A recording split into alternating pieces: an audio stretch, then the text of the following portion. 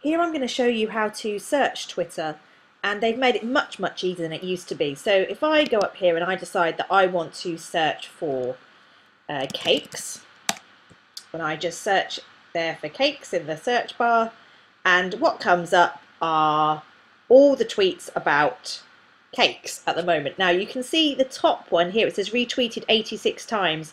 So what they've actually done is ordered it by top tweets and they say that top tweets are those that are very popular. If I clicked on all, I would see tweets coming in in chronological order. So 25 seconds ago, 29 seconds. Oh, lots of people talk about cake. The other thing here is I can see the top people as defined by those people who are linked to cakes, the top videos about cakes and the top images about cakes.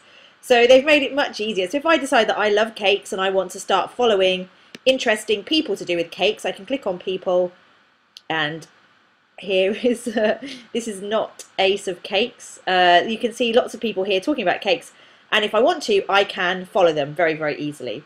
So it's just a very simple way of extending what you're interested in. Now if you're for example a journalist and you're interested in location if I click here on this little cog I can click on advanced search. And that gives me many more choices so I can either say all of these words, exact phrase, any of these words, none of these words. I can even search a particular hashtag and I can search by language, which, for example, from a news point of view can be uh, absolutely amazing because then I can use translating software to put it into English, but I can find people tweeting in their native language. Although, of course, if I wanted to find people talking about cakes in Portuguese, I would have to type in the Portuguese word for cake. Uh, and I can search by particular people and also by place. So, for example, if I'm a local journalist and I'm based in, uh, let's say, Cardiff, if I searched for Cardiff 15 miles around Cardiff, let's see if anybody's talking about cakes, because I'm doing a feature for a local radio station about people not eating cakes in January.